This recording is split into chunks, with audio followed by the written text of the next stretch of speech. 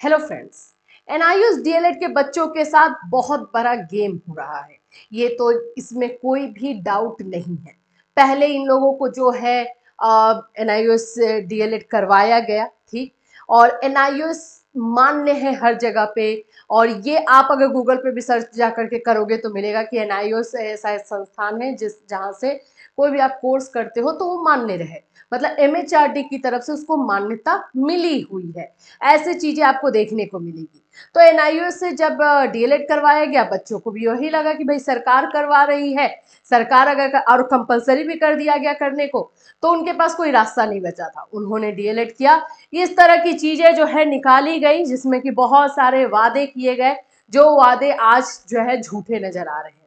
दूसरा जो है आ, कि अब जो ये लोग टेट एग्जामिनेशन दिए हैं जो ये लोग जो है टीचर एलिजिबिलिटी टेस्ट दिए हैं, उस पर भी क्वेश्चन उठाया जा रहा है कि वो भी इनका मानने नहीं है। ये सारी चीज़ें क्या चल रही हैं? पता नहीं। कैसे जो है एन आई को पूरा एकदम खत्म करने की जो है एक तरह से साजिश हो रही है। चलिए, इस पर बात करेंगे। साथ ही साथ, अभी जो है आप सभी एन अभ्यर्थियों के पास एक फिर से नया अवसर मिला है एमएचआरडी से मिलने का, क्योंकि अब नया जो एजुकेशन मिनिस्ट्री बनेगा उसमें आप लोगों के लिए बहुत सारे होप, बहुत सारी उम्मीदें हैं, लेकिन वहाँ पर सही तरीके से प्रेजेंटेशन करना ज़रूरी है। तो इन सब पर भी बात होगी क्या क्या क्या चीज़ें इसमें चल रही है। सो फ्रेंड्स चैनल पर पहली बार विज़िट करें तो चैनल को सब्सक्राइब कर लेना। यहाँ पर एनआईएस डीएलएड से रिलेटेड हर इन्फॉर्मेशन आपको दी जाती है। देखिए, सबसे पहले तो मैं आपको बता दूँ कि ये चीज़ें गलत तो है नहीं। इसमें आपने ये देखा ही होगा कि प्रधानमंत्री मोदी जी का यहाँ पे पिक्चर है। इस तरह की चीज़ें इसमें निकाली गई थी कि किस तरह से डीएलएड पाठ्यक्रम पूरा करना है। आ, फिर एनसीटी और एमएचआरडी से स्वीकृत है कोई भी इस योग्यता के साथ देश में कहीं भी नौकरी के लिए आवेदन कर सकता है। ये इतना क्लियर शब्दों में लिखा हुआ है। फिर कैसे एनआईएस डीएलएड के बच्चों को हटा दिया गया है? और यहाँ पर आप देख रहे हो किसका पिक्चर है? अगर मन में किसी के डाउट भी हो तो इस फ़ोटो को देख करके डाउट तो खत्म हो जाता है। तो इन सभी चीज़ों को देखने के बाद, देखो, जो भी एनआईएस से डीएलएड किया है, ऐसा नहीं कि बेवकूफ़ी में कर लिया है, या ज़बरदस्ती उसको जो है, उसको मतलब ऐसा था कि कुछ बताया नहीं गया, या फिर उसने छानबीन नहीं की। सब कुछ करने के बाद बच्चों ने किया है, और फिर आज यहाँ पर ला करके उन्हें खड़ा कर दिया गया है। अब चलिए बात यहाँ पर कर लेते हैं, यह दो वर्ष का कोर्स है। मेन लड़ाई इसी चीज़ पर हो रही है ना कि अठारह महीने का कोर्स है, एटीन मंथ्स का कोर्स बताया जा रहा है ये। लेकिन ये यहाँ पर आपको दिखाई दे रहा है कि यहाँ क्लियर लिखा हुआ है ये दो साल का कोर्स है। इनफैक्ट आप लोगों को जिन जिन को रिज़ल्ट मिला होगा मार्कशीट मिला होगा, उस पर भी आप देखोगे तो वहाँ पे दो साल अट्ठारह महीने तो कुछ भी मेंशन नहीं किया गया है। इसलिए रजिस्ट्रेशन तुरंत करना है। रजिस्ट्रेशन की आखिरी तारीख 15 सितंबर 2017 है। ये सारी चीज़ें मेंशन थी। फिर मिस्टेक कहाँ और क्यों हुआ? यहाँ पर आप देखो रजिस्ट्रेशन के लिए एनआईओस की वेबसाइट ये सारी चीज़ें बताई गई थी। 4500 लगेगा, ये लगेगा, वो लगेगा। और आज जिन्होंने एनआईओ से डीएलएड किया और उसके बाद उन्होंने टेट एग्जामिनेशन दिए हैं, अब उनको इनवैलिड करार कर दिया गया है कि वो इनवैलिड है। और क्यों इनवैलिड है? पूरा एक पोस्टर यहाँ पर आप देखिए रूल रेगुलेशन निकाला जा रहा है। Two years diploma in affiliating और ये वो, ये सारी चीज़ें जो है डाली जा रही है कि फिर वो आगे, दो साल का अगर कोर्स नहीं है तो आर टी एक्ट के अकॉर्डिंग जो है, वन टू फाइव में पढ़ाने के लिए सिर्फ़ टू इयर्स डिप्लोमा वाले ही वैलिड है तो ये टू इयर्स डिप्लोमा नहीं है। हर जगह क्वेश्चन ये अट्ठारह महीने पे आकर के रुक जा रहा है, लेकिन अट्ठारह महीने का ये कोर्स है नहीं।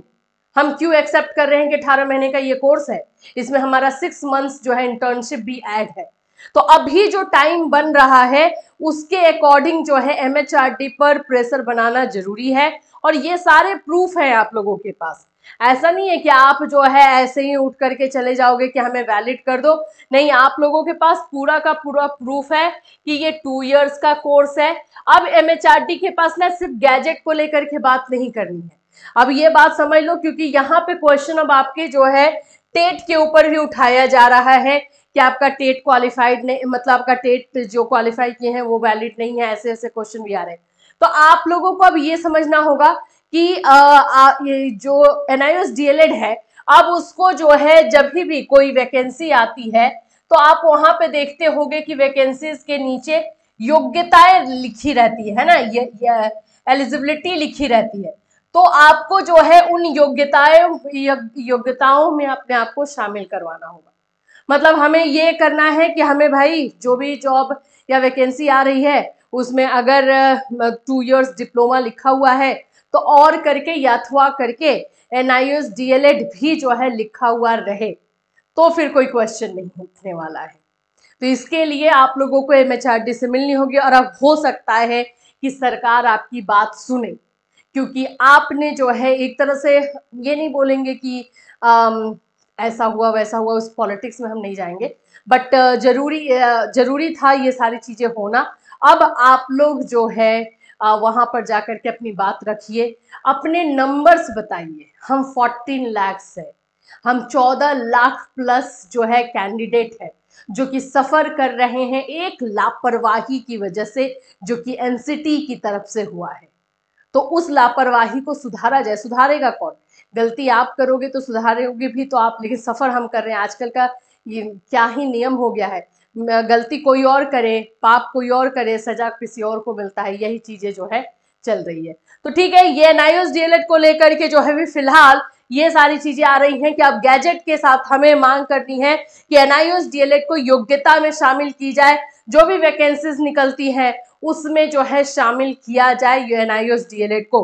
अब इसके लिए जो है तैयारी की जा रही है, किस तरह से एमएचआरटी से मिलना है, कब मिलना है, कितने लोग जाएँगे, ये सारी चीज़ों पे काम स्टार्ट हो चुका है। जैसे ही अपडेट आएगा, आपको बताया जाएगा।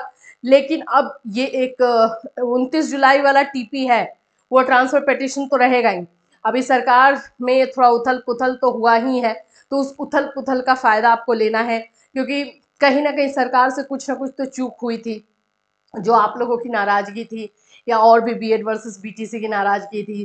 पेपर्स लीक हुए थे, बहुत सारी ऐसी चीज़ें हुई थी, जिसका जो है आप लोगों ने एक बदला नहीं बोलना चाहिए, लेकिन यस आप लोगों ने जो है अपना गुस्सा ज़रूर दिखाया है। इस बात को सरकार समझेगी कि हाँ ये गलत हुआ है और अभी मौका है तो कि आप लोगों को अपनी बातों को रख देना है। तो ये काम जितनी जल्दी होगा, उतना ज़्यादा अच्छा रहेगा। तो इससे रिलेटेड जैसे कोई अपडेट आएगा, बिल्कुल हम आपको बताएँगे।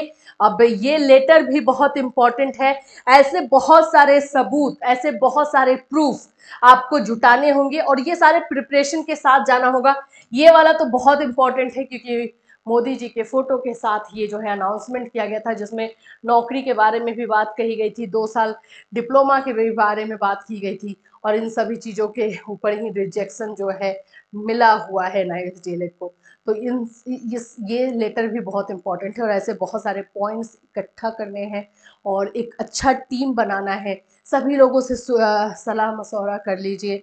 जितने लोग इसमें लगे हुए हैं ताकि हर कोई अपना सजेशन दे, कहीं से कोई चूक ना हो और फिर वहाँ पर जा कर के अपनी बातों को रखिए। एक बार फिर से दिल्ली का जो है रास्ता देखना होगा और वहाँ पर मिलना होगा।